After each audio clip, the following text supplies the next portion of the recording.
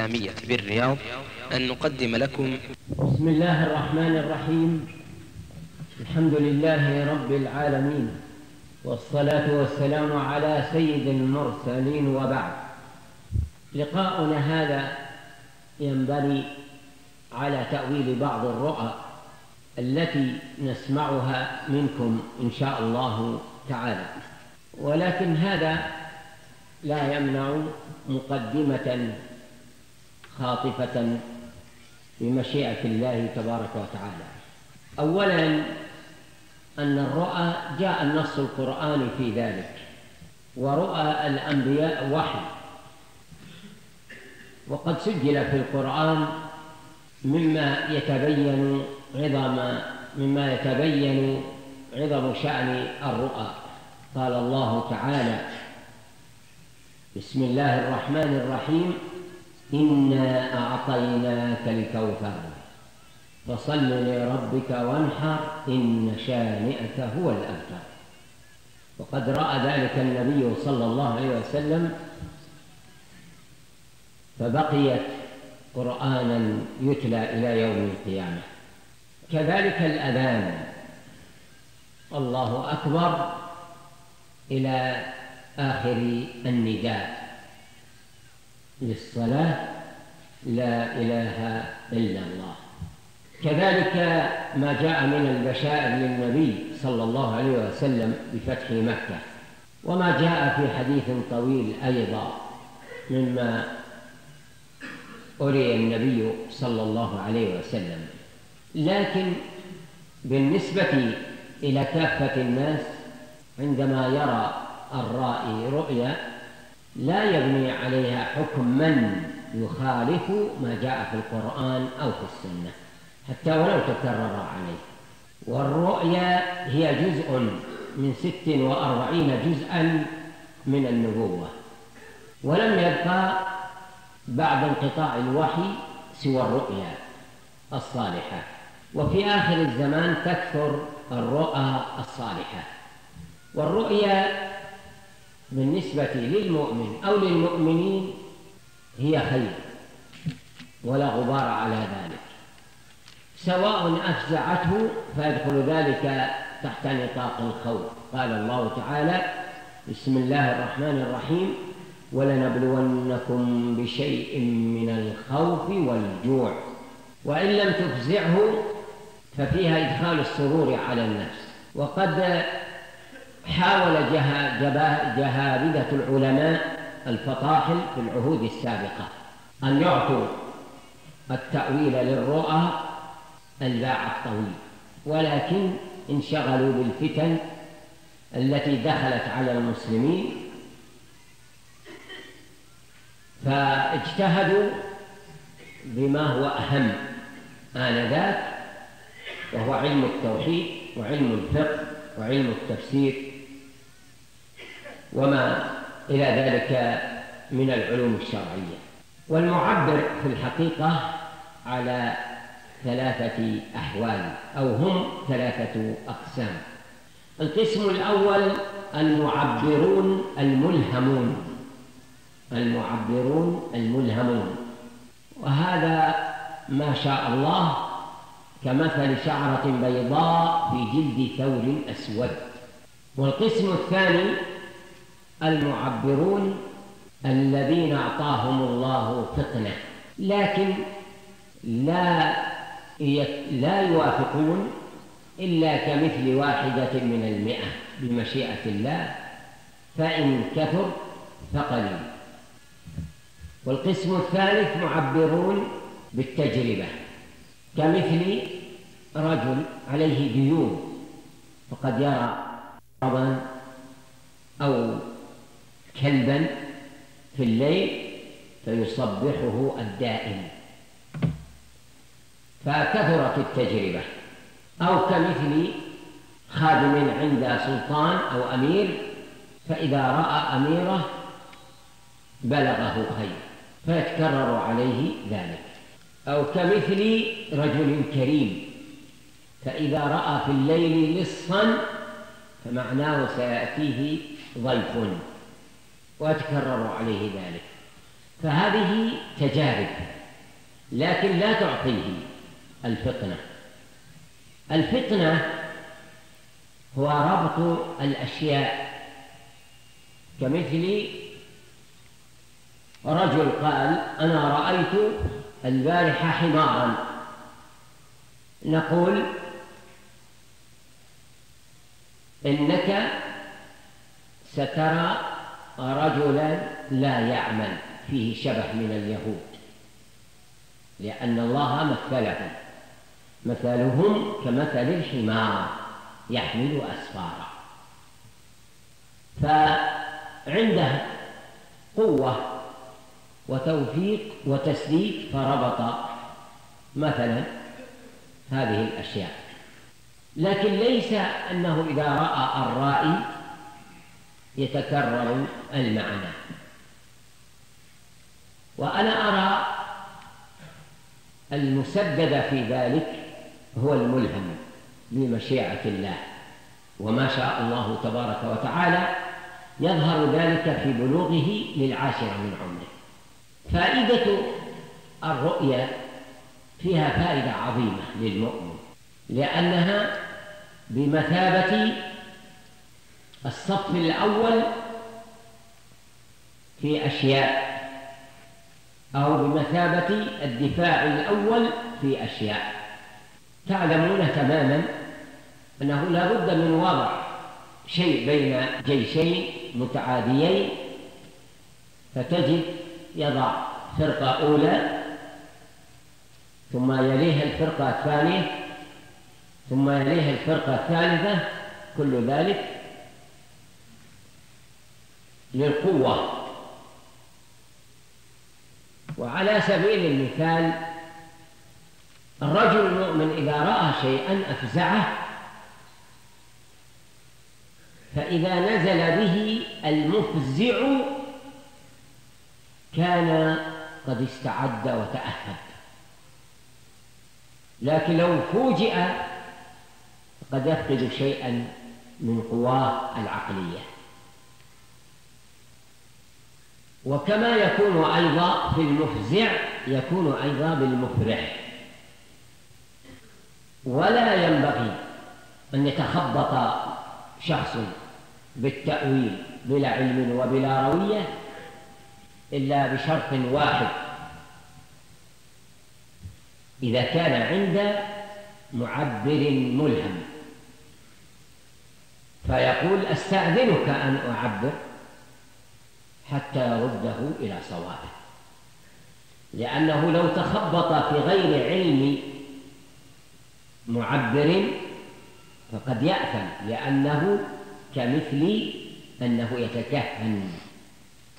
لأن هذا علم يؤتيه الله من يشاء ابتلاء واختبارا وفتنة. والدليل على هذه الشرطية أن أبا بكر رضي الله تعالى عنه استأذن الرسول صلى الله عليه وسلم. قال أتأذن لي يا رسول الله أن أعبر؟ بالنسبة للرؤى والتعبير هذه قدرة إلهية الذي هو الرؤيا. كمثل أن الله خلق الإنسان من العدم إلى الوجود فيكاد المؤمن أن يقول أنه ما يرى هذا الإنسان في منامه يفوق القدرة بالخلق. والذي أرى هذا الإنسان هو الرب تبارك وتعالى هو الذي جعله يرى هذه الأشياء. وهذا هو العجب. خلق الإنسان مرة في المبدأ الأول وفي البعث مرة أخرى. لكن بالنسبة إلى الرؤى تجد قد يرى في ليلة واحدة مواقف عجيبة كثيرة يتحدث فيها ساعة وساعتين. فهذا فيه دلالة على القدرة الإلهية. أن كل إنسان يرى وكأنه يفعل ذلك حقيقة وهو في الحقيقة حقيقة. لكنه من جانب ثاني. لأن الرؤى إما أن تكون رؤيا وإما أن تكون حديثا للنفس وإما أن تكون من الشيطان.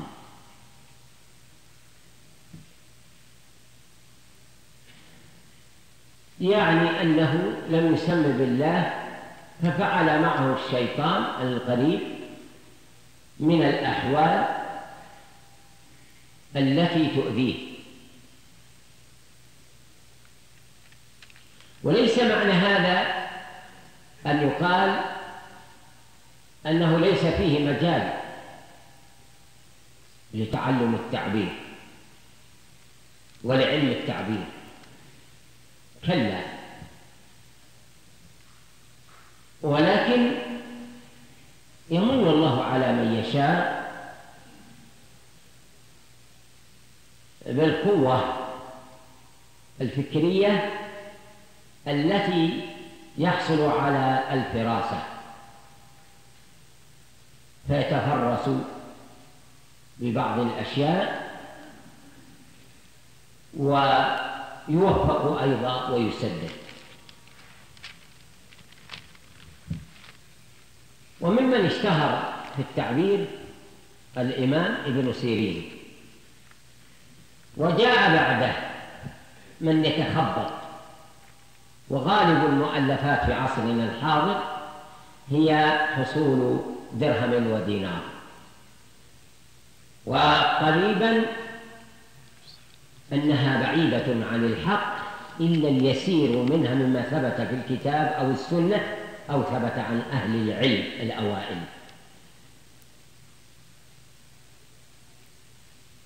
وإلا فغالبها تجارية. يحصل المؤلف درهما ودينارا من وراء ذلك. فإن كان قد نقل فنقله باجتهاده. الله أعلم بجزائه من الله. وإن كان قد خبط أيضا بالتأويل فسيسأل عن ذلك في أيام القيامة. لأن الله تبارك تبارك وتعالى قال في شأن القلب فتحسبونه هينا وهو عند الله عظيم. فكم من إنسان تلوث فكره وأصيب بالمرض النفسي بسبب ما كتبه بعض المؤلفين حيث يقولون من رأى كذا وكذا يصاب بمرض من رأى كذا وكذا يصاب بالموت. النفوس قد لا تتحمل ليس كل إنسان يتحمل شيئا من ذلك. إنسان لو تقول له أنت ستموت بعد ست ساعات ما تأثر لأنه عنده اليقين عنده الاطمئنان بعد الإيمان. لكن لو قلت لإنسان أنت موتك قريب ولو لم تكن طبيبا ولو لم تكن عالما فقد يتأثر نفسيا. ولهذا غالب ما كتب في هذا التأليف في الحقيقة أنه ضرر على كثير من المطالعين. والتعبير في الحقيقة يختلف. الرؤى مع التعبير يختلف من زمان إلى زمان. لم يبقى الآن من الأطعمة. نحن نجد أن أطعمة القرون الماضية تختلف عن طعامنا اليوم لكن فيها أصل. كمثل البر والتمر والماء والسمن هذا لم يتغير. لكن أطعمة الناس في عصرنا الحاضر تغيرت. وإن كان كل طعام يرجع إلى أصل واحد. لكن بأشكالها وألوانها وما فيها من التذوق بالطعام. فكما يكون ذلك يكون أيضا بالتعبير وتختلف الشخصية أيضا. شخصية الرائي. الرائي منهم من له حرفة ومنهم من له سلطة ومنهم من عنده علم. ومنهم من يحمل الجهل ومنهم من هو ثري ومنهم من هو شاب ومنهم من هو مسن ومنهم من هو صغير. فيختلف يختلف التعبير باختلاف الراوي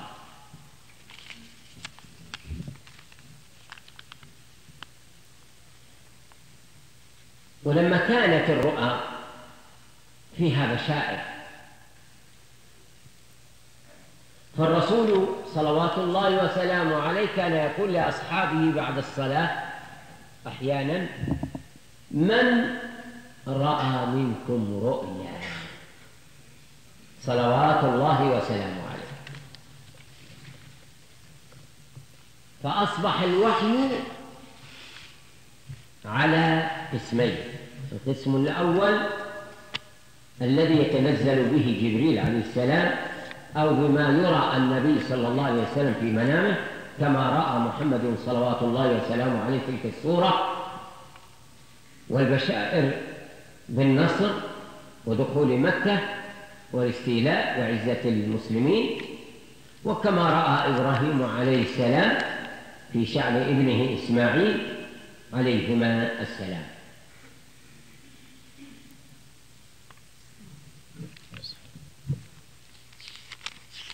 فلا شك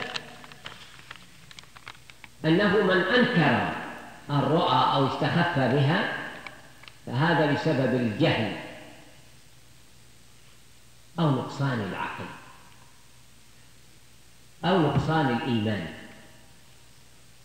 لأن الجزء الثاني هو بما أعطى الله عباده في المنامات وهذه قدرة إلهية.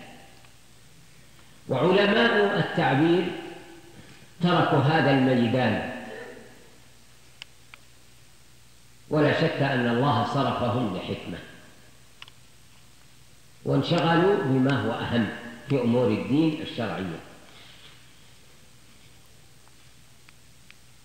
ولا ينبغي للمؤمن إذا رأى رؤيا أن يعرضها على مستخف أو على جاهل.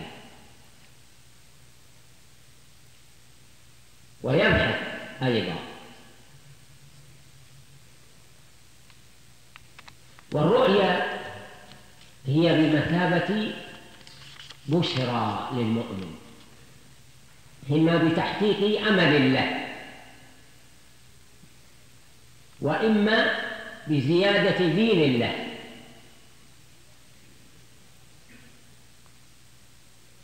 وإما بزيادة أجر له لكي يستعد لما سيجري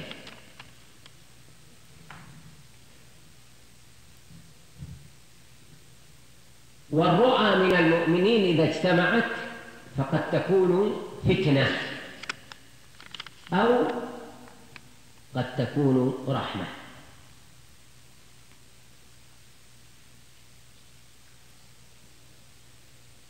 وبعض من الناس نادر كالشعرة البيضاء في جلد الثور الأسود. يعني أن الرؤيا التي يراها في المنام تظهر حقيقة لا تغيير فيها ولا تأويل. وقد يحصل لبعض من الناس في حياته كلها أنه يرى رؤيا واحدة كالشعرة البيضاء في جلد الثور الأسود.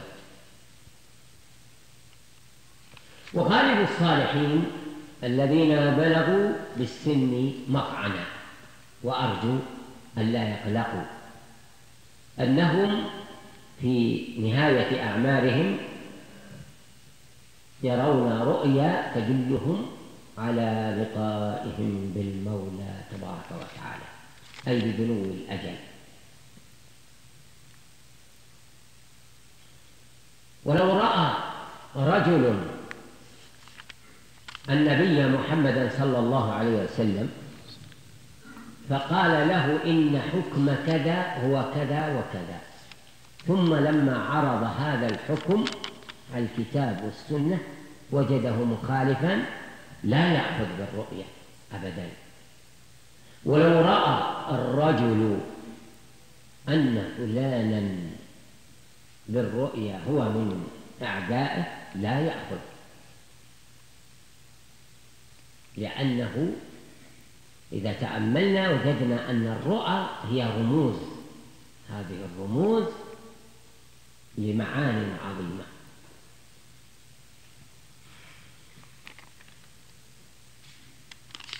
والرؤيا قد تكون من قبيل التخويف للمؤمن وقد تكون من قبيل البشرى للمؤمن. وقد تكون من قبيل التعليم والتحذير والعجب أن علماء التعبير باجتهاد منهم باجتهاد منهم.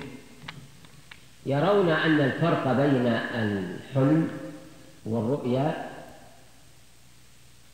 أن الرؤيا هي التي يستأنس بها المؤمن وأن الحلم هو الذي ينزعج به الإنسان. وهذا فيه نظر. فلا يمكن أن يقال هذا بوجه عام. ولكن نقول إن الحلم والرؤيا يعرف ذلك المعبر الملهم ما شاء الله. ولكن هل يبني الرأي على تأويل المعبر؟ كما أن الرؤية هي جزء من ست وأربعين جزء من النبوة فكذلك التعبير قد يوفق له الملهم وقد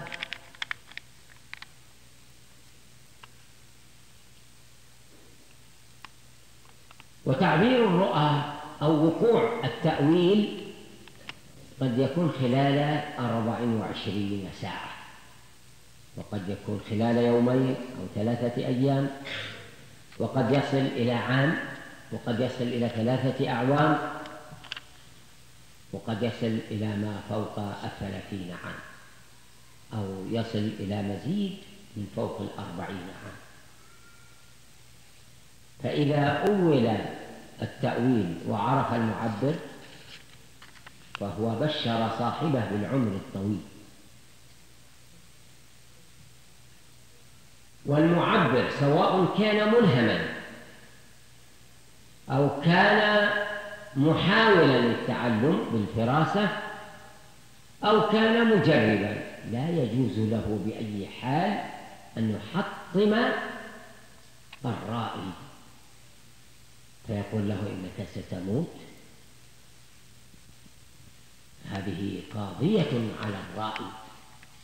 ولا سيما النساء وهن ناقصات عقل ودين. فلا تتحمله المرأة. ويستحسن إذا رأى صاحب الأسرة يجمع أهله وولده العقلاء يقول بشركم أنا رأيت البارحة كذا كذا كذا. يسرهم بذلك. فإذا كان هناك ممن يستخف أو كان ممن يتعجل بالتعبير بجهل فيرفع ذلك عن هؤلاء. ولعله من قبيل الفكاهة في التعبير جاءني أحد الإخوة في عام اثنين وثمانين يعني قبل ثلاثين سنة وقال إن ولدي الذي بلغ من العمر ستة أعوام أو سبعة أعوام رأى البارحة أن مئذنة المسجد قد سقطت. هذا قبل ثلاثين عاما. وعين هذا المسجد. القائل بطبيعة الحال هذا لا حرج فيه ولا يضر. هو أحد الإخوان يقال له أو يدعى الشيخ صالح السبتي شفاه الله. ومرضانا ومرضاكم ومرضى المسلمين. والولد أعتقد الآن أنه بلغ يمكن إلى 38 عاما ما دام أن القصة لها ما يزيد على 30 عاما أو كذا ففي هذه الحال عرفنا أن الذي كان يعمر المسجد هو الشيخ عبد العزيز عبد العزيز الشفري المشهور بأبي حبيب. رحمه الله. فعرف وفاته بذلك لأنه هو الذي يعمر المسجد. كان يعمره بالذكر وكان المسجد قد اشتهر به والمسجد اشتهر بالمئذنة. ممكن لل للحالق إذا وفقه الله وتابع هذا العلم أن يجد مجالا في هذا الميدان ولعل الله أن ييسر دروسا في هذا الشأن. وحتى لا نأخذ هذا الوقت نكتفي بهذا القدر كما جاء في الرؤى في كتاب الله أو في سنة نبيه محمد صلى الله عليه وسلم أو ما حصل للسابقين من العلماء والخلفاء والصالحين لا يتسع له هذا المقام فنحن نكتفي بذلك القدر إلى لقاء آخر بمشيئة الله تبارك وتعالى.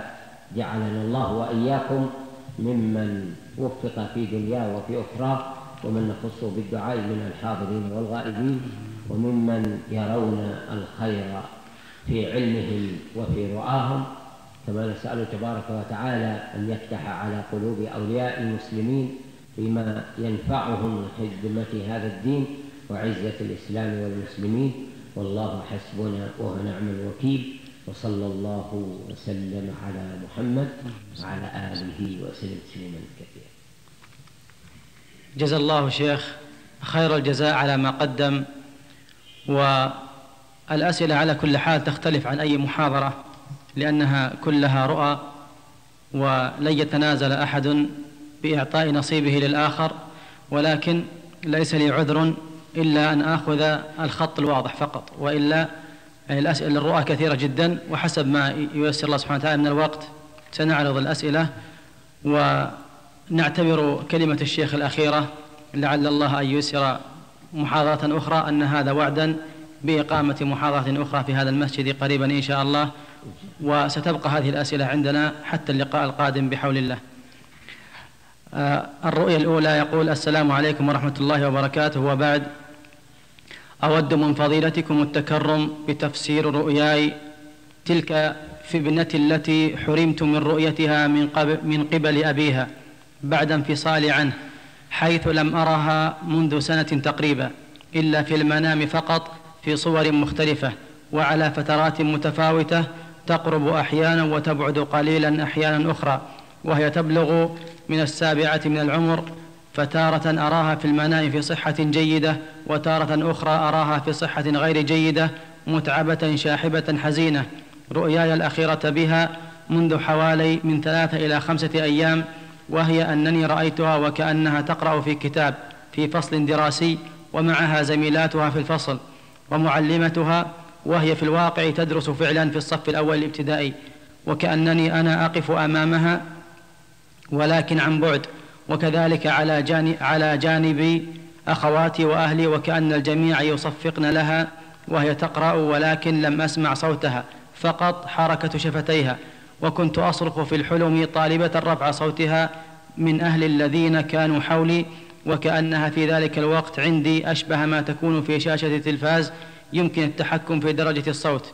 ولكن دون جدوى ثم فجأة انتهت أو توقفت عن القراءة وصفقت لها بحرارة أنا وزميلاتها وأهلي ثم تنحت عن مقعدها وابتعدت عن الصفوف فجريت نحوها لأضمها إلي وفعلا ناديت عليها فتقدمت فتقدمت مني وكان وكان لباسها يميل قليلا إلى اللون الأخضر الداكن ووجهها محمر قليلا وخاصة الأنف وكأنها مصابة ببرد وشعرها غير, غير الواقع أصبح لونه أسود داكن.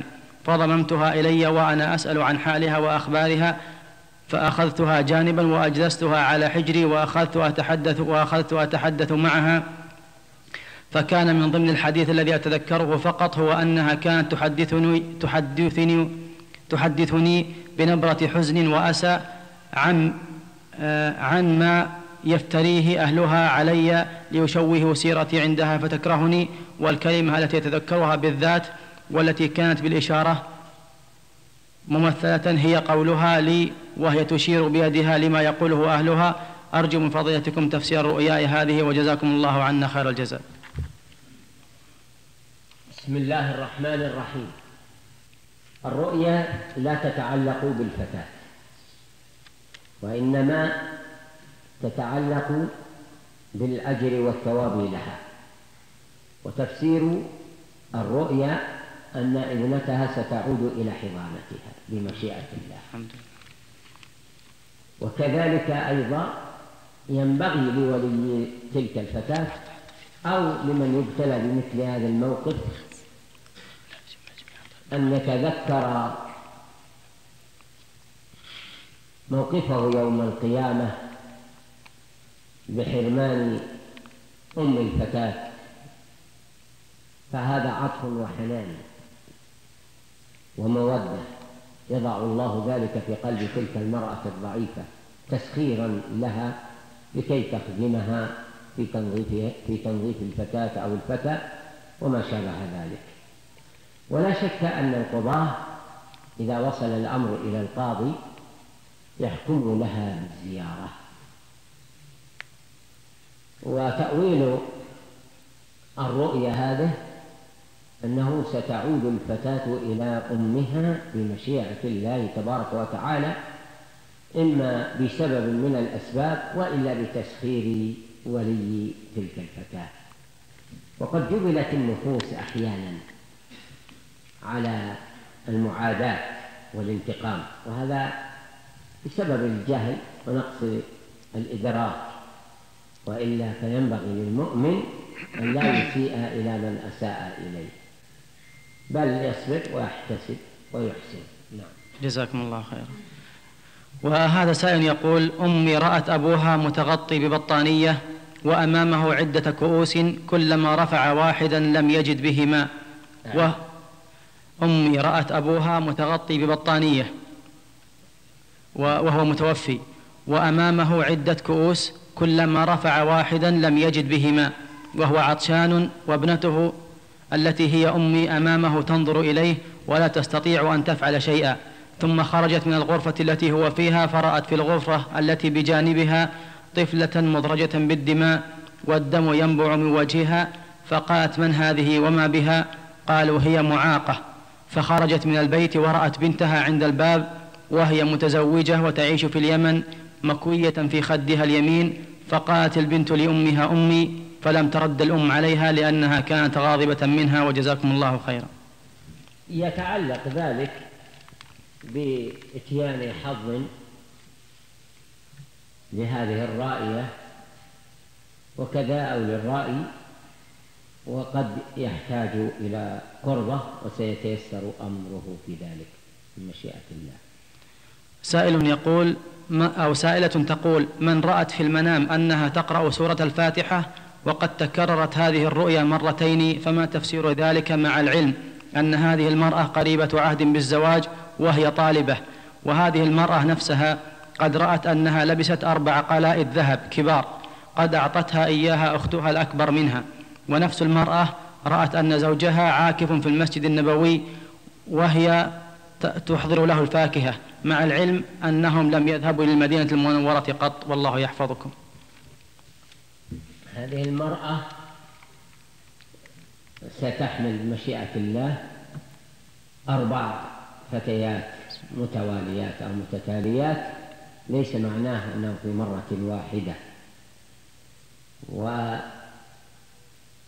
وسيحصل بينها وبين زوجها بمشيئة الله كما يحصل لأي امرأة مع الزوج في أثناء الحمل بعد بلوغ الحمل إلى شهرين إلى ثلاثة أو أربعة أو خمسة أو ستة من الكره للزوج. وهذا شيء آه، جبل كثير من النسوة على ذلك لفترة محدودة. وهذا هو معنى الفاكهة نعم. وينتهي هذا الكره. وهذا شيء عرفه المسنون معا من نسائهم نعم.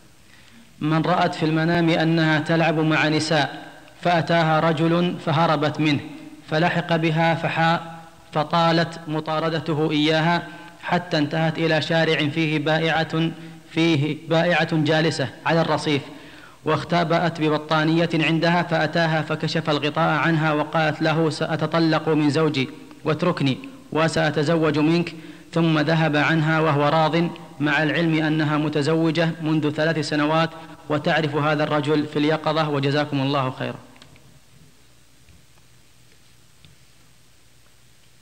هذه المرأة تحاول الحصول إلى شيء من المال ولكن سيسر الله أمرها.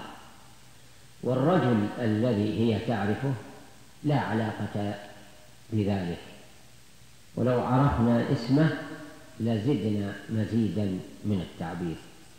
نعم رجل رأى في المنام أنه جالس لقضاء الحاجة وأتاه رجل يعرفه فسلم عليه وأطال السلام. وقد رأى نفس الرجل أن أخته ترمي بنفسها في قليب فيها ماء تريد السباحة ولكنها كادت أن تغرق فأنقذها وأجرى لها بعض الإسعافات الأولية. بالنسبة للذي يقضي هذه الحاجة هذا رجل يريد أن يطهر نفسه بزكاة أو صدقة.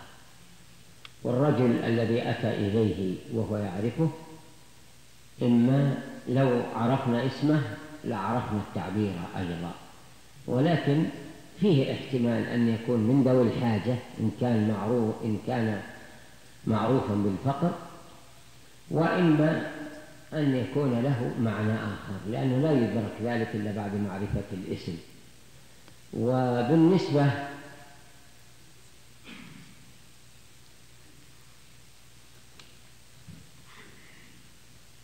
الرجل الذي رأى أن أخته ترمي بنفسها في قليل فيها ماء إن كانت وأنقذها أخوها إن كانت لم تتزوج فأخوها سيكون حجر عثرة بزواجها.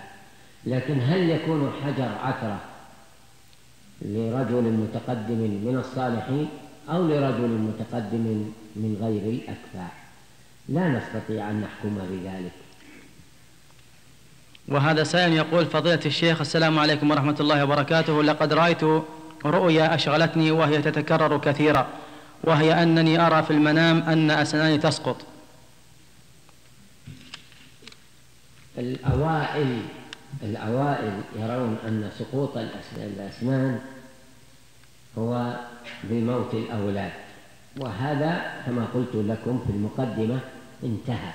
طعام انتهى. التأويل يختلف. لكن لا يمنع أن يكون هناك من يحضر بين يديه طعاما قديما. لكن الذي يظهر لي من ذلك لابد أن نعرف الشخص الذي سقطت أسنانه. إن كان طالبا فسيكون عنده ضعف في الدروس. وإن كان مسنا فسيحال بالتقاعد. وإن كان مسنا من الذين يبيعون ويشترون فهو سيكون ركود في تجارته. وإن كان ممن يحمل وظيفتين وظيفة ظاهرة ووظيفة خاصة يعرفها أصحاب الإشارة فقد يكون انتهى من الوظيفة السرية إما بإقالة وإما باستقالة. وفي ذلك معاني كثيرة ما يمكن أن نحدد ذلك إلا بمعرفة الشخص. نعم. أه، امرأة ترى ثلاثة حبال سود يريدون أكلها وهي في صراع معهم وكذلك رأت أنها تأكل من طبق فيه فاكهة وأتت واحدة وأخذت منها برتقالة.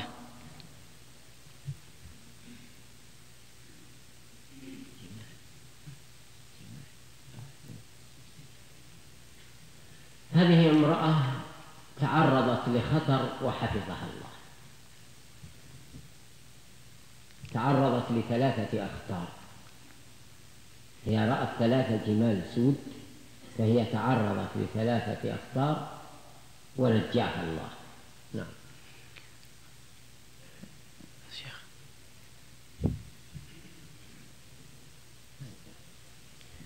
آه هذا سائل يقول رأيت الشيخ عبد المحسن العبيكان وهو لابس بشت. وهو لابس بشت جميل وكان يأمر بالمعروف وينهى عن المنكر وهو يقول الصلاة الصلاة. ثم أعطاني هذا البشت فما تفسير فضيلتكم لهذه الرؤيا؟ وهذه رؤيا ثانية شخص رأى فضيلة الشيخ عبد العزيز بن باز يقدم له قهوة فما تفسير هذه الرؤيا؟ بالنسبة لمن رأى عبد المحسن العبيكان قد لبس بشتا فهو سيعود إلى عمل يناسبه ويليق بمقامه. وهذا الرأي لابد نعرفه. إن كان طالب علم إن كان طالب علم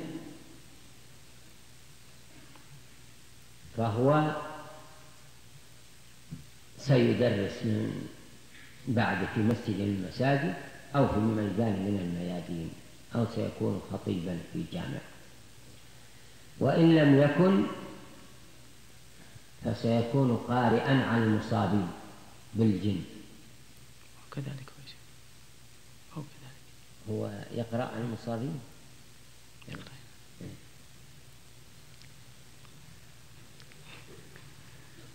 على كل حال سيكون عبد المحسن البيكان أيضا يحيل إليه. يحيل إليه. بعض المصابين.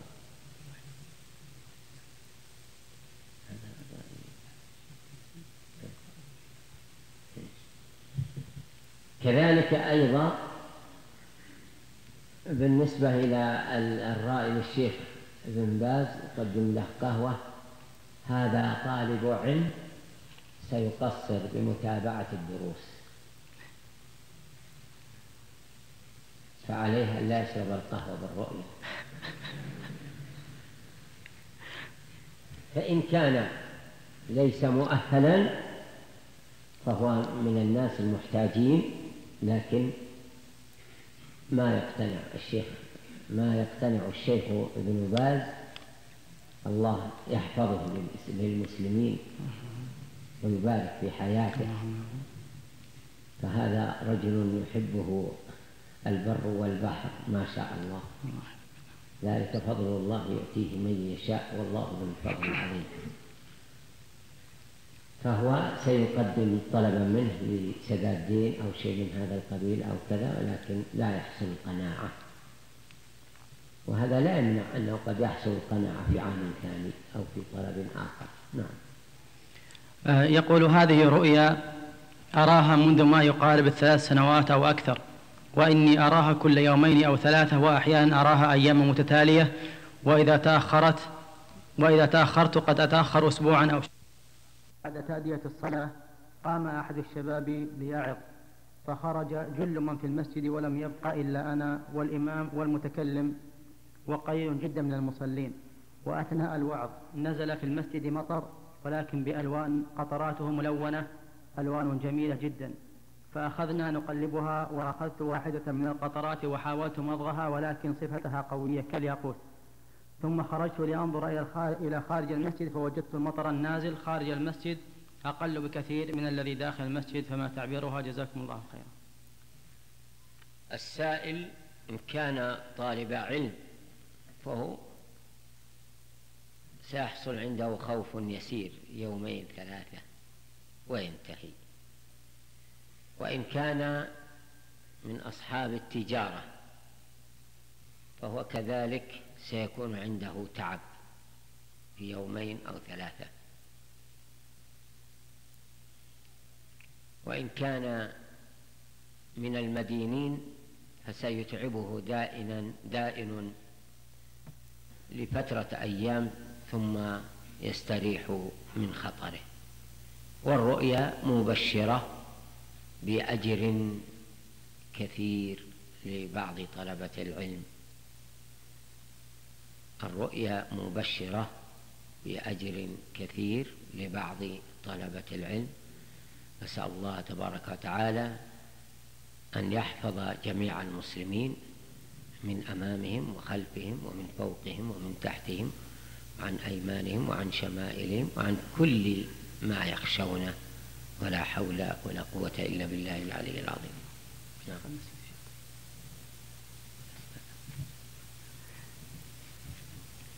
فإن كان الرائي خطب امرأة فليأخذ بحسبانه أن أهل المرأة سوف لا يوافقون.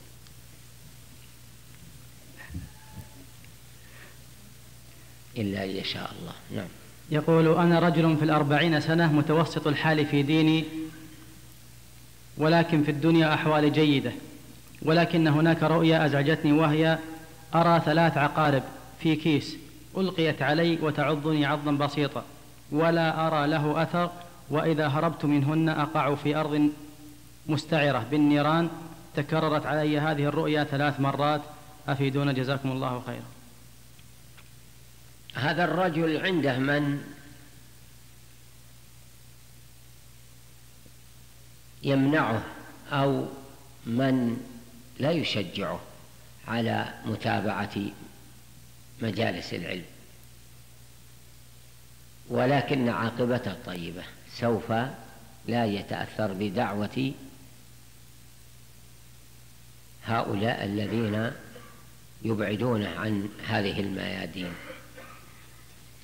فإن كان الأمر ليس هكذا فعليه أن يلتقي بي حتى أعرفه وأعطيه المعنى المناسب له بمشيئة الله. وهذا سائل يقول لقد رأيت عمر بن الخطاب رضي الله عنه في المنام يضع في جيبي قلما فما تفسيرها؟ جزاكم الله خيرا لا بد أن أعرف هذا الشخص فإن كان تخرج من كلية الشريعة فليهيئ نفسه للقضاء يكون قاضيا. فإن كان يحب أن يقف نسائله على أي حال إن لم يكن متخرجا فهذا قضيته سيؤجر فيها وسينتصر خصمه. إلا ما شاء الله. آه هذا سائل يقول أحد الإخوة سوف يسافر إلى أمريكا يوم السبت القادم. إن شاء الله. إن شاء الله وقد رؤي في حلمين أنه يحلق لحيته. الحلم الأول من قريبته والثاني من زميله. هذا الرجل سوف ينفق ما في جيبه وما في جيوب أصحابه من مال لحاجة السفر ولا علاقة له بدينه. رأيت في المنام أني أطير وأيضا أني أقود سيارة. ورأيت حية في المنام أحيانا تؤذي وأحيانا لا تؤذي وهذه الأحلام متكررة لدي.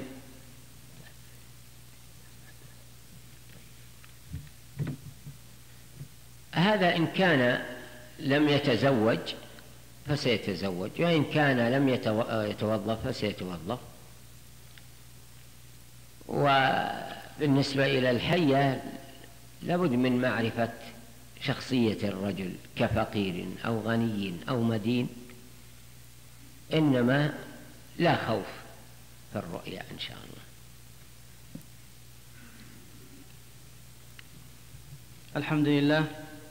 هذا يقول شاهدت في المنام أني أرى في السماء جسم غريب أرى أوله ولا أكاد أن أشاهد آخره وكأنه يشبه القمر الصناعي وكانت السماء صافية وتميل إلى اللون الأزرق الغامق. وكان الناس من حولي لاهون عن هذا الجسم الغريب فذهلت من ذلك الجسم ووقعت أبكي مع ال... ووقعت أبكي على الأرض ثم تنبهت من فوري وذهبت فتوضأت للصلاة وذهبت إلى المسجد كي أصلي وكنت خائف فما إن دخلت باب المسجد فإذا بي كأنني في سوق في سوق به من النساء ما الله به عليم وكانت النساء كما وصفهن الرسول صلى الله عليه وسلم كاسيات عاريات مائلات مميلات كأن رؤوسهن أسلمة البخت. ثم استيقظت من نومي وكان هذا الحلم منذ أربع سنين. أرجو تفسيره. جزاكم الله خيرا. جواب هذا قد سبق وأن انتهى وهو معناه رزق من الله ويفرح والبكاء فرح. والظاهر لي أنه هذا عم عما عمم المسلمين من تخفيف في بعض الأمور التي عليهم كواجبات من أجرة كهرب أو أجرة ماء أو كذا أو كذا. المهم أنه فرح عظيم على عامة المسلمين وقد حصل نعم. يقول قرأت على امرأة مريضة في المستشفى فسمعت القراءة امرأة أخرى مريضة فرأت أني أعطيتها كيس مسك فقلت لها شميه وستشفين فما تأويلها؟ هذا الرجل سعى لغيره بخطبة أو سيسعى لغيره بخطبة أو هو سيخطبها. لا يعرف ذلك إلا من معرفة الشخص. نعم. يقول امرأة رأت أخاها في المنام بعدما مات وقد مر بجانبها هي ومن حولها فتركهم واستقبل أحد الجدران في ركن وأخذ يدعو دعاء وهو يشهق من تأثره فما تأويلها. أعين. امرأة رأت أخاها في المنام بعدما مات وقد مر بجانبها هي ومن حولها فتركهم واستقبل أحد الجدران في ركن وأخذ يدعو دعاء وهو يشهق من تأثره فما تأويلها. هؤلاء لهم مال مجهول عليهم أن يبحثوا عنه إما من ميراث وإلا دين أو شيء. المهم لهم مال مجهول الله أعلم. يقول الشيخ يوسف حفظه الله امرأة بعد طلاقها رأت في المنام أنها سقط ضرس كبير لها ثم أخذته وأعادته إلى مكانه فما تعبيره؟ انقطع رزقها من زوجها الذي جعله الله على يد زوجها سيعوضها الله. هذا معناه سيعوضها الله رزقا آخر.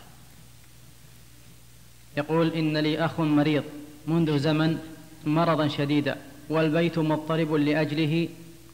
شيخنا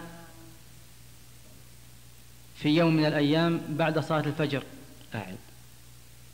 ظهنا شيخنا يعني يا شيخنا في يوم من الأيام. لا أعد من أول. إن لي أخ مريض منذ زمن مرضا شديدا والبيت مضطرب لأجله. وفي يوم من الأيام بعد صلاة الفجر أي في الصفرة نام أبي وهو مستقيم ولله الحمد. ورأى الرسول صلى الله عليه وسلم في الشارع ثم عزمه وأدخله البيت فدخل الرسول صلى الله عليه وسلم البيت ثم قال له أبي إن عندي ولد مريض فليتك أن تقرأ عليه. ففعل صلى الله عليه وسلم ثم برئ أخي مما فيه فما تأويلكم لهذه الرؤيا رحمكم الله.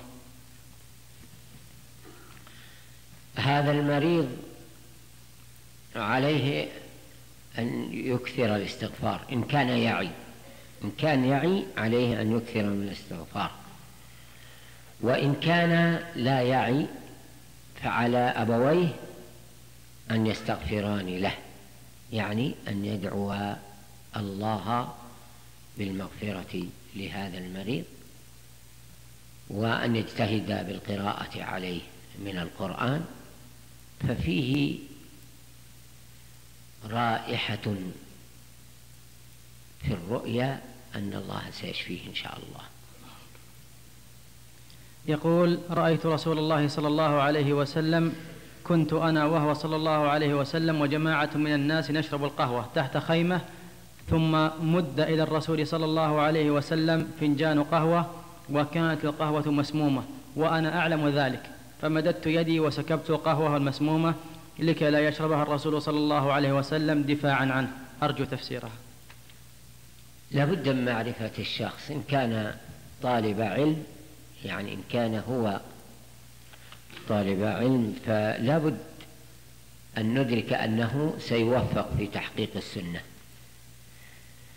وإن كان ليس أو لم يكن مما ذكرت فسيكون منكر وهو ينكر هذا المنكر. نعم. مشيئة الله نعم. يقول في يوم من الأيام بعد صلاة الفجر جلست في البيت ثم قرأت وردي من القرآن ثم لحظة. ويتعلق في الأول أيضا إن كان قد خطب امرأة فسيتحقق أمره. وإن كان ليس من الملتزمين فسيلتزم بمشيئة الله في أمر دينه نعم. يقول في يوم من الأيام بعد صلاة الفجر جلست في البيت ثم قرأت وردي من القرآن ثم نمت الصفرة. فرأيت أني مقبل على حلقة علم للشيخ عبد العزيز بن باز حفظه الله. ولما انتهى من درسه جئت, جئت إليه وكان معي كتاب سبل السلام. أريد أن أسأله فإذا بالشيخ فرح بي فرحا شديدا ومن شدة فرحه قبل رأسي. ولما رأيت منه ذلك فرحت أنا أشد منه. وقبلته ثم أعطاني نقودا فما تأويلها. هنا ما هي الكتب التي تنصحون بها في موضوع الرؤية؟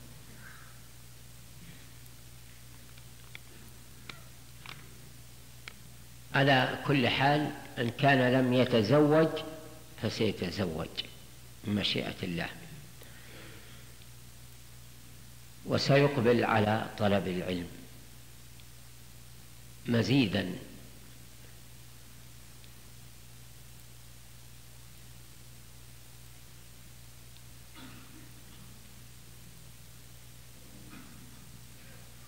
ولكن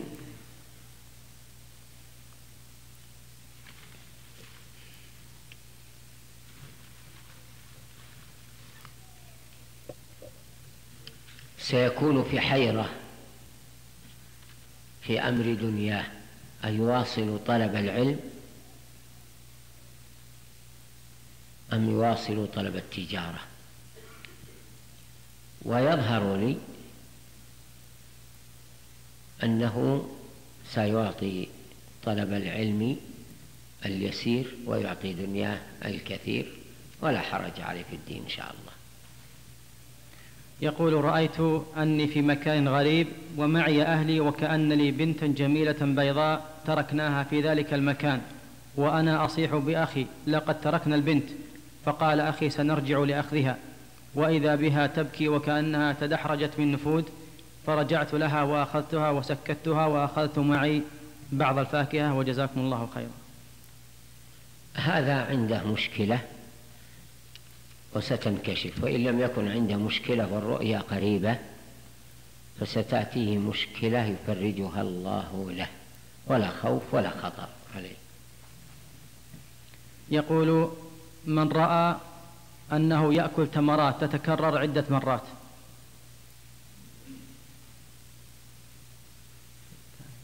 يختلف آكل التمرات من شخص إلى شخص.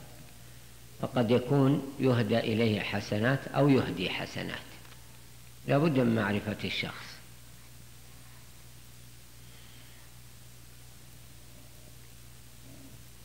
يقول رأيت قبل زواجي بعام أنني في مزرعة خضراء.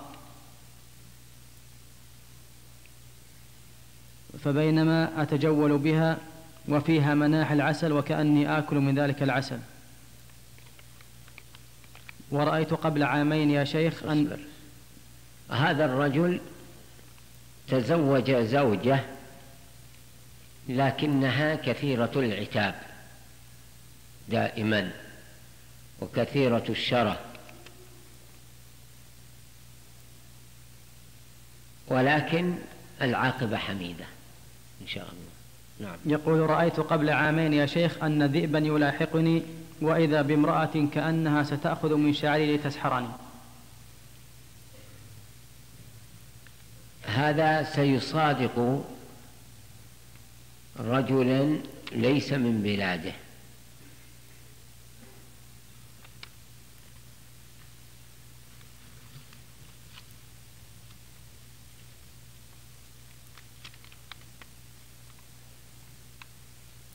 وسينال من الدنيا يسيرا ما يأخذ بفؤاده إلى هذه الدنيا لكن لا خوف عليه في ذلك كله إلا إذا كان يطلبه رجل غريب عن بلاده سواء من البر وهو الأولى أو الأقرب أو من غير هؤلاء ممن صفته كصفة الذي لا يرحم ولا يعذر صاحبه بالدين. يقول امرأة أو تقول امرأة تقول إنني رأيت أنني أقود سيارة. ماذا تقولون في تأويل ذلك؟ لا بد من معرفة شخصية المرأة. هل هي متزوجة أو غير متزوجة؟ موظفة أم غير موظفة؟ فإن كانت متزوجة فزوجها شديد ولكنه بعد الرؤيا سيكون خاتما في يدها. فإن كانت لم تتزوج فسوف تتزوج بمشيئة الله. إن كانت متزوجة وزوجها لطيف معها بطواعيتها فهي ستتوظف فإن كانت موظفة فمديرتها ستقتنع بها ولا تعاتبها بعد ذلك من مشيئة الله.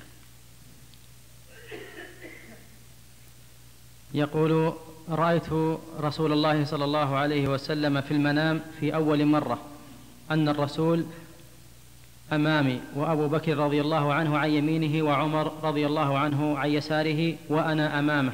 جالسين على شكل حلقة والمرة الثانية دخلت الجنة. ووالدي خلفي فوجدنا رسول الله صلى الله عليه وسلم فأعطاني في داخلها فأعطاني شيئا في الكأس من ذهب.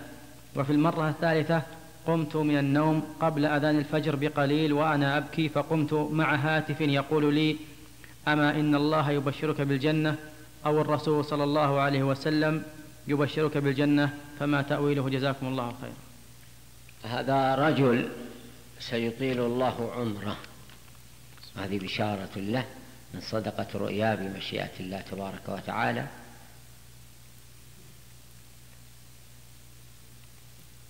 وسيعيش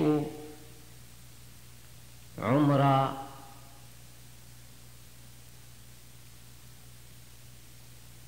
أشخاص عظماء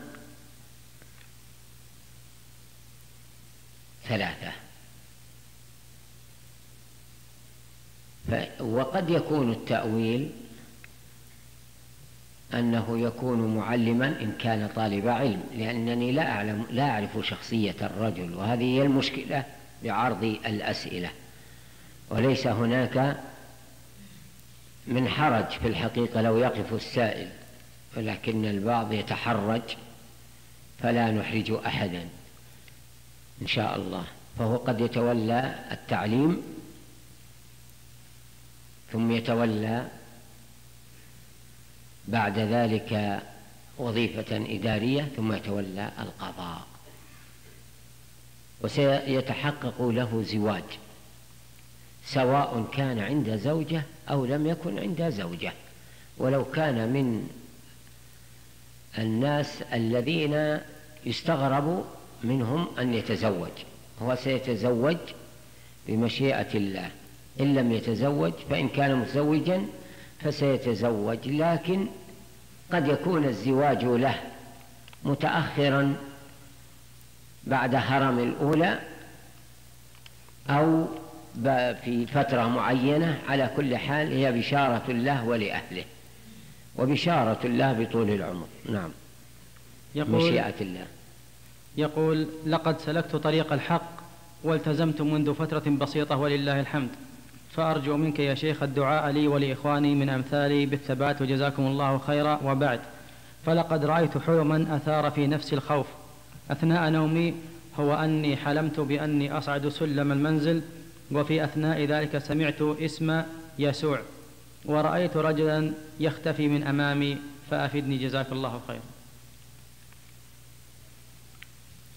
بالنسبة إلى الدعاء أسأل الله أن يثبتنا وإياكم أجمعين وإياه ومن نخص بالدعاء من الحاضرين والغائبين ولجميع المسلمين حتى نلقاه وهو راض عنا وأن نعيش في الحياة وفراض عنا مع العافية في الدنيا والآخرة أجمعين.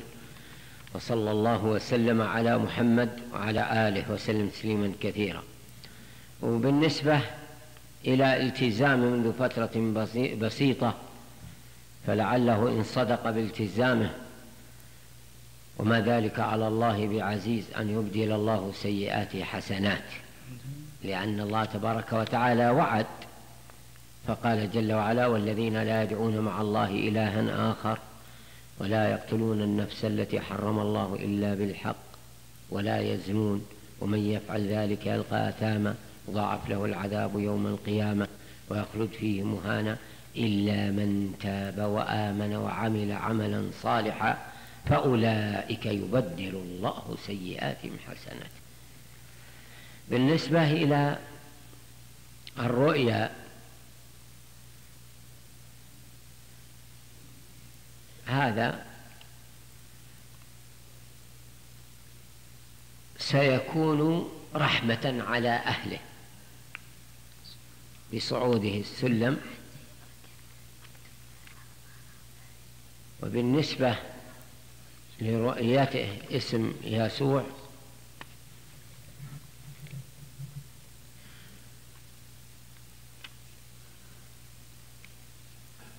فهذا إن شاء الله أنه ستسعه الرحمة. وبالنسبة إلى الرجل الذي اختفى هو عهده السابق المشين الذي كان يعمل سوءا فيه. إن شاء الله. هذا يقول أخي الصغير مصاب بمرض السكر منذ سنتين وقد رأيت في المنام أن الله تعالى قد شفاه فما تعبير ذلك؟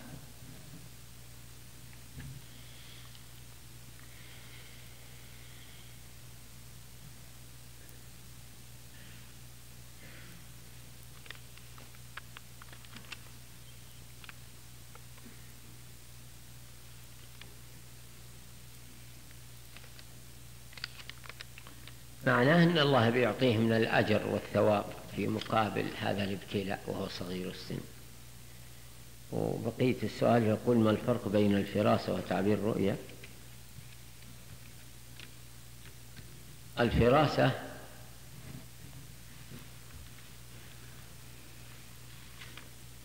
هو حضور الذهن لأمر متوقع. فمثل على سبيل المثال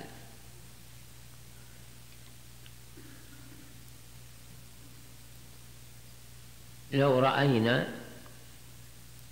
شخصا يخدم أهله ثم توفي لا قدر الله فيتفرس الشخص يقول إن فلانا سيخلفه يعني من إخوانه. هناك علامات أنه قريب بالسن. أنه رجل يتطلع إلى الخدمة أو أنه سافر الأول فسيكون كذا. أو مثل يرى رجل اشتهر بحسن الخلق وكذا وكذا وكذا فيقال إن كان ولا بد أن ينتخب مثلا كإمام للمسجد أو مؤذن أو مدير مدرسة بين زملائه فسيكون كذا ثم يقع.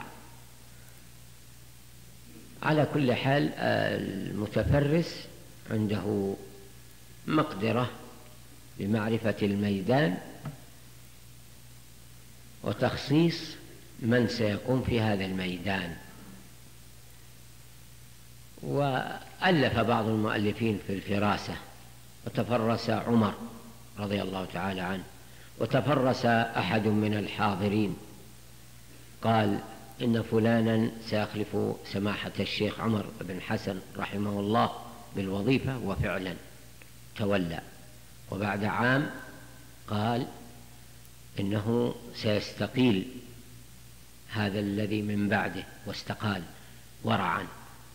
ثم قال وأتفرس أنه سيعين فلان وتعين.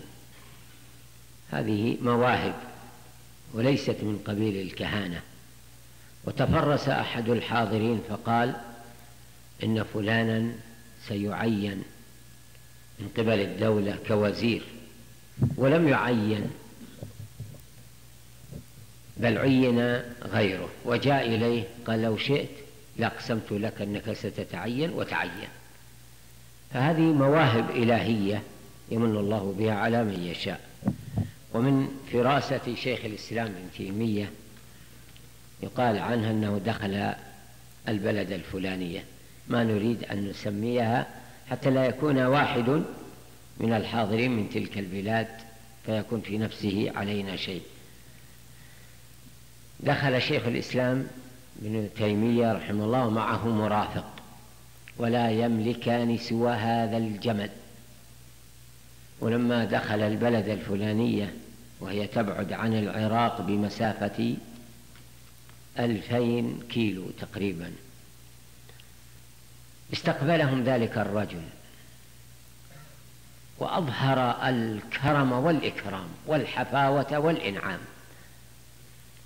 فلما رآه شيخ الإسلام قال لصاحبه المرافق لا أرى داعيا أن نبقى عند هذا الرجل فإني تفرست فيه. فالمرافق أبى لأنه تكسرت عواطفه أمام كلمات ذلك الرجل.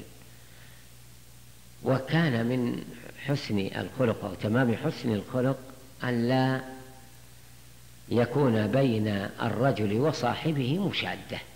فقبل شيخ الإسلام ولما مكث ثلاثة أيام قدم لهم هذا الرجل الحساب. قال أكل بعيركم كذا وأكلتم كذا. فما وجد شيخ الإسلام إلا أن يبيع البعير وأن يسدد له الحساب. يقول إذا رأى رجل في المنام أنه, أنه في بيت واسع ومجهز بجميع لوازمه.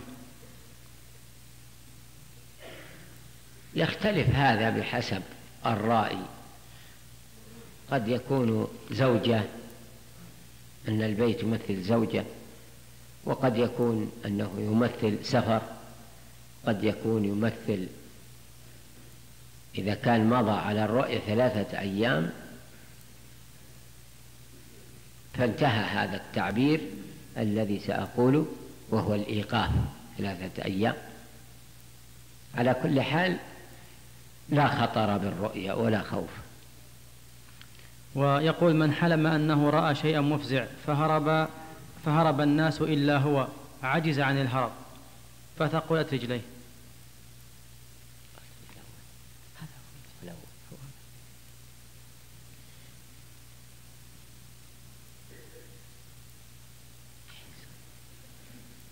هذا الذي رأى شيئا مفزعا فهرب الناس إلا هو.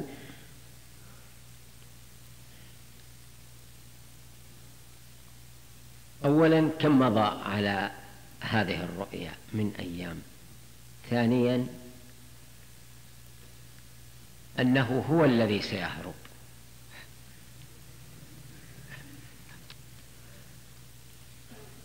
ثالثا أن هروبه قد يكون من قبيل الحياء. فالرؤيا في صالحه. الرؤيا في صالحه. إلا في حالة واحدة إذا طلب الصدقة من الناس فهو سوف لا تساعده أموره على أن يتصدق. فإن طلب مساعدة في أمر آخر فظروفه لا تساعده.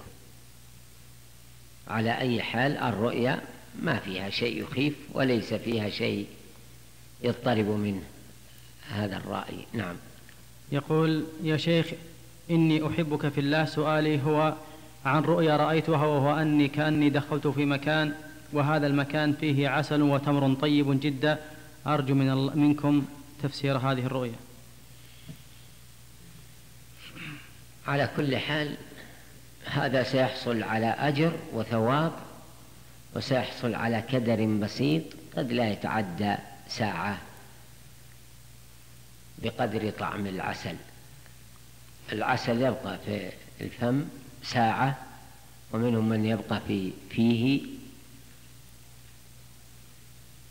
ما يقارب الساعتين. فعلى كل حال يمكن أن انتهى إن كان قد مضى على الرؤيا يوم أو يومان أو ثلاثة أيام فقد انتهى الموضوع. يقول يا شيخ إن لي أخ إن لي أخ كان عاص لله سبحانه وتعالى وأتاه كابوس يريد قبض روحه وكان بجواره رجل يلقنه الشهادة فتلفظ بها ثم استيقظ من النوم فزعا وخائفا ثم طلب من والدتي أن توقظه لصلاة الفجر وما زال مواظبا على الصلاة وأسأل الله له الثبات. على كل حال هو التزام ديني وإن كان لم يتزوج فسيتزوج بطالبة علم. مشيئة الله. نعم. يقول سمعت صوتا في المنام يقول لي أنت المهدي.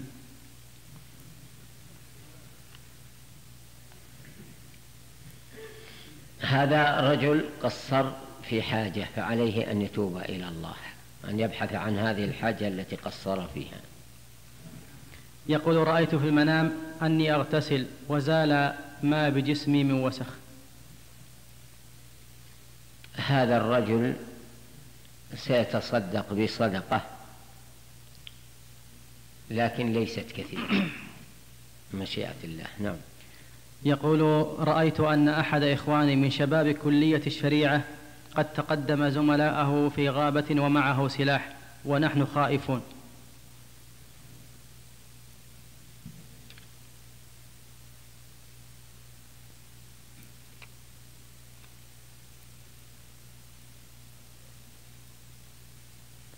هذا رجل سيحسن على بعض زملائه بشيء من المال. فإن لم يكن فالرائي يأتيه مال يحسن به على بعض زملائه المحتاجين. مشيئة الله. يقول رأيت أني أحمل رجلا مسنا أنا وأخي وكان ميتا ثم رفعناه إلى الدور الأعلى وأقعدناه ثم ما لبث أن بدأ يحرك يديه ويهمهم. الشخص إذا كان الرائي طالب إذا كان طالبا فهذا سيثير مشكلة بين اثنين متعاديين. فإن كان تاجرا فسيثير مشكلة بين جارين.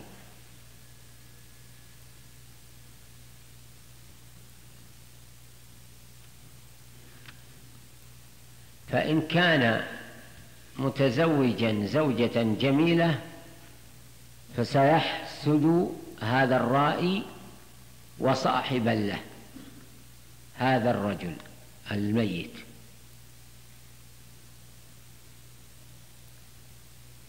فإن لم يكن هذا وهذا لأننا لا نستطيع أن نحكم إلا بعد معرفة الرجل بمشيئة الله فالله سيهدي شخصا غير ملتزم على يد هذا الرجل ويعينه شخص آخر مشيئة الله.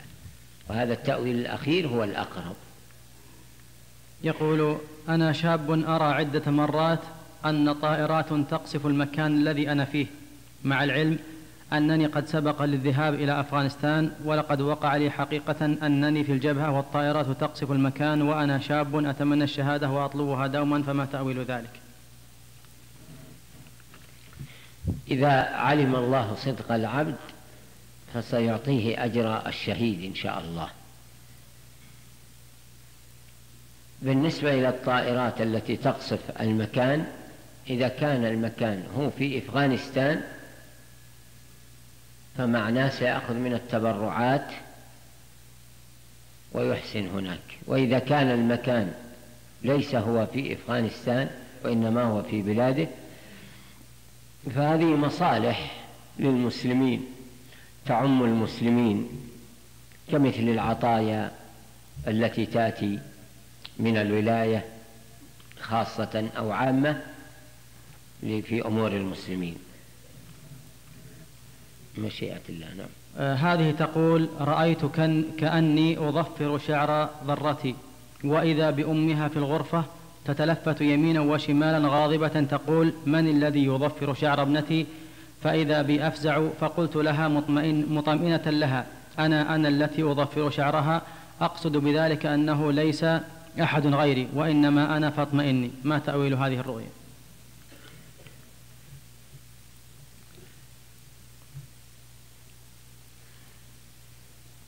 هذه امرأة ستزيد بحسن خلقها والتلطف مع زوجها والأدب بين يديه فبهذا يميل زوجها إليها. لا شعوريا فتنال من حظ ضرتها إليها في قلب زوجها من مشيئة الله. يقول رأيت أنني أرى رأيت أنني أرى وجهي وقد ملئ حبوب شباب ورأيت جدي يدرس قرآن ومعه بعض الشباب في الجنة. يظهر لي أنها لم تتزوج فلتبشر بالزواج. إن كانت امرأة. فإن كان شابا فسيتزوج. فإن كان متزوجا فليبشر بالولد الذكر إن شاء الله من زوجته ونظرا لكثرة الأسئلة وضيق الوقت. حقيقة لا يمل من جلوس من الجلوس مع الشيخ ولكنه وعد بأن يكمل الإجابة على هذه الرؤى جميعا إن شاء الله. ولعل الشيخ يعدنا في هذا المكان أن يكون اللقاء قريبا. فمتى يا شيخ؟ قبل أن نختم. إن شاء الله. ننسق بين الجميع